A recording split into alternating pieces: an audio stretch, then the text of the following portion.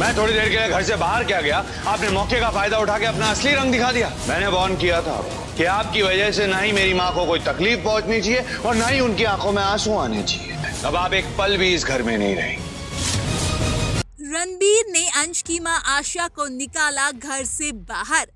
बात हो रही है कलर्स टीवी के most popular show Sirf Tum की। आने वाले एपिसोड में आप देखने वाले हैं कि यहाँ पर दोनों सौतनों के बीच, यानी कि अंश की माँ और रणबीर की माँ के बीच लड़ाई होती है, जहाँ पर रणबीर की माँ ममता अंश की माँ आशा से कहती है कि मेरी थोड़ी देर के लिए आग क्या लग गई? तुम मेरे पति के साथ चीप ट्रिक करने लगी और फिर यहाँ पर हाथ पकड़ लेती है ममता आशा का, जहाँ पर आशा ममता का हाथ छुड़ाकर उसे धक्का दे देती है और कहती है कि इस तरह से बात करने का हक सिर्फ़ और सिर्फ़ विक्रांत जी का है।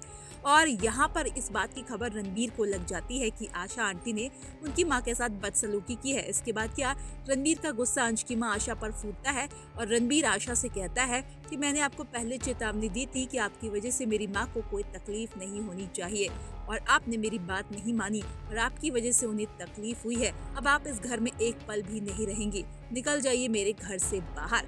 उसके बाद अंश की माँ काफ़ी शॉक्ड हो जाती है। कल आने वाले एपिसोड में देखना काफ़ी ज़्यादा दिलचस्प होगा कि अब अंश की माँ आशा क्या करेगी। टीवी सीरियल से जुड़ी तमाम लेटेस्ट अपडेट के लिए चैनल को सब्सक्राइब करना ना भूलिएगा।